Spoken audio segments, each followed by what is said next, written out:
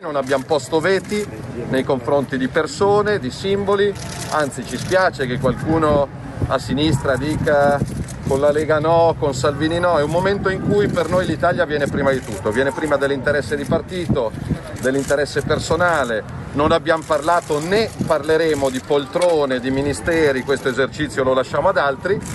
ci rivediamo in settimana, diciamo che ci sono diverse sintonie, abbiamo parlato ad esempio di sostegno al turismo, all'agricoltura, abbiamo parlato di un'Europa che per noi deve mettere al centro anche la difesa dell'interesse nazionale. Europeismo non significa svendere le nostre spiagge,